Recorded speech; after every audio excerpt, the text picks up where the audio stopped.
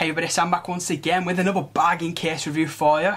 And this time, it's more of a plain looking one. So, let's look at it.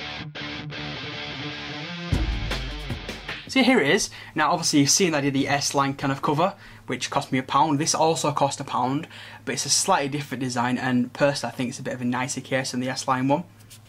So I thought I might as well show you this one as well. It doesn't hurt, does it? So let's just uh, bring the Galaxy S4 in and let's just slide her in there. Pop her down. You kind of hear it kind of click into position. Now the bottom one is always a bit of a pain to try and get in there. So you've kind of got to give it a bit of extra give once it's in there, you'll then know, you kind of feel it in there. So let's just uh, turn that one off. So let's take it from the bottom. There we go, hopefully it was focus.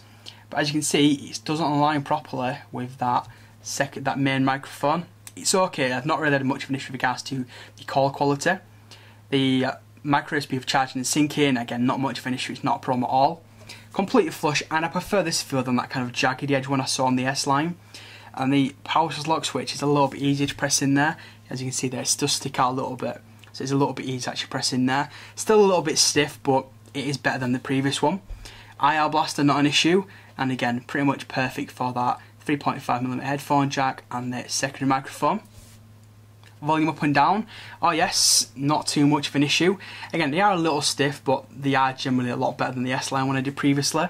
You will feel obviously kind of, I don't know if it kind of shows off on the camera, it's probably hard to show. You can probably just see it there. It's got kind of like where the mould is. And that's when you know you're getting a cheaper case than the more high quality ones, just because you can kind of see where the mould case was. On the back of it, once again, it's got a perfect cut. It looks like it's probably the same design than the S-Line one. And again, for the bottom part again, and again, it's slightly recessed in there, so you don't have to worry about that. It's perfectly good. There was a slight lip, but for some reason, the lip doesn't, it's not as big at the bottom. So, you know, you may need to worry about it at the bottom, but at the top it's massive. So, you know, it's okay for the top part, but the bottom part, you may have troubles. You may want to have a screen protector on there just to make sure. Obviously, you can kind of see the Samsung logo kind of popping through. But that's it, that's another bargain case for you. Again, if you want to go pick one of these ones up, I will put a link in the description. You can get it from Amazon, eBay, etc. The link in the description is for both America and the UK, so don't worry about that one. what do you reckon, people? do you like these bargain series of cases? The reason why I do them is because I do get quite a few people asking me to do some of the cheaper ones. Again, just to see what you can get for your pound, or your dollar fifty, or your dollar two, or whatever it might be. Anyway, people, I appreciate you watching this one. If you did enjoy it and you did think, you know, find it useful at all, please do hit the like button. It is very much appreciated. Subscribe down below. It's free. Yeah, I know.